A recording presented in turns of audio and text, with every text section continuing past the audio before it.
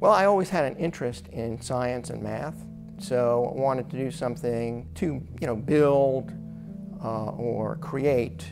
I had developed an interest in research and decided to pursue a master's degree.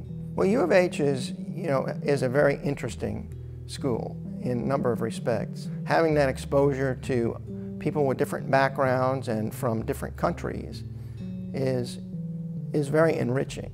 There was definitely a lot of camaraderie between the graduate students.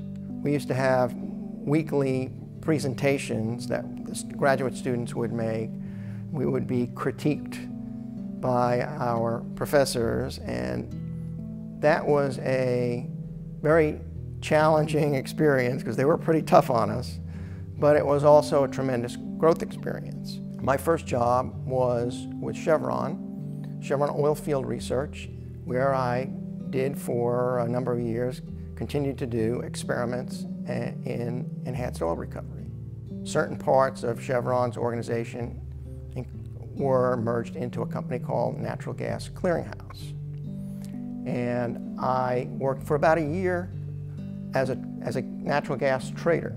You never know, of course, whether you're going to be successful. But I had acquired a lot of experience and uh, abilities during my many different jobs uh, with Chevron and Natural Gas Clearinghouse. Shortly thereafter, another gentleman and I started up our, our first company and then started another company, TriStream Energy. I retired from TriStream last year.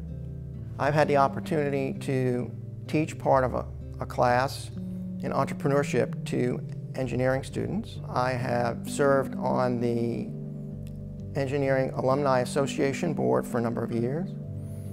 I've served on the Dean's Leadership Board for a number of years and was the chair of the Leadership Board in 2010. Probably the most fun for, for me was hosting the game show at the E-Week celebration for a number of years. Well, I'm most proud that I have been a successful entrepreneur.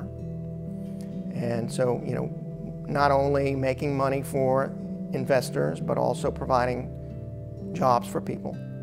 And to have had the opportunity to participate as an as an alumnus in a number of activities supporting the uh, Cullen College of Engineering.